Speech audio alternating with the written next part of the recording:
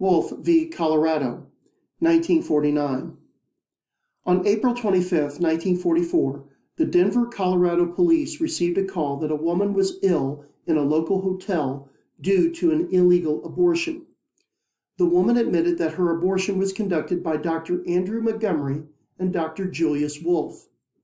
When police arrested Dr. Wolf in his office without a warrant, they seized medical records of women who had been in his office.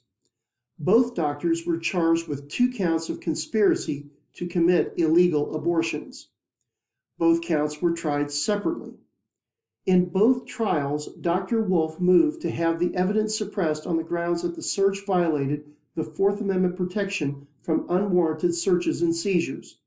He also argued that it violated the Due Process Clause of the 14th Amendment. After losing his appeal in the Colorado Supreme Court, he appealed all the way to the U.S. Supreme Court.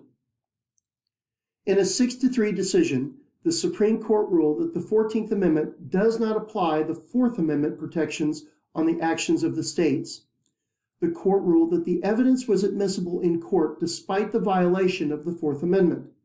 Therefore, the court did not incorporate the Fourth Amendment protections into state searches. This case was overturned in 1961 with Mapp v. Ohio.